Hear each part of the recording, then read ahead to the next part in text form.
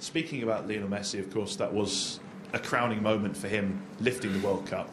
Does it elevate him yet again in terms of the greatest of all time when we think of Maradona and Pele who have lifted that trophy? Everyone has opinion, but nobody can doubt that he is there with the greatest all the time. For me, I said many times, I've been the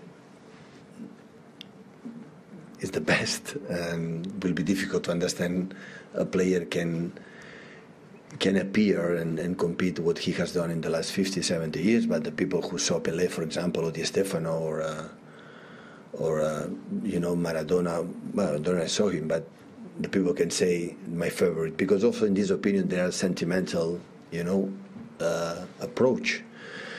But uh, on the other side, if he would not have won the World Cup, the opinion about what he has done for the world football, in my opinion, personal opinion, that uh, how he's a player did, would not change absolutely anything. But it's normal that the people. It depends on who win. You are a, you you are evaluated, and of course, for him is the final, you know, cherries of his incredible career.